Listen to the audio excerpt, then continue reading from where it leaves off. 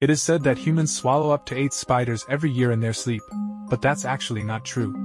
You see, spiders breathe oxygen and they would actually be repelled by human mouths which to them is like a warm, moist cave that is mostly carbon dioxide and water vapor.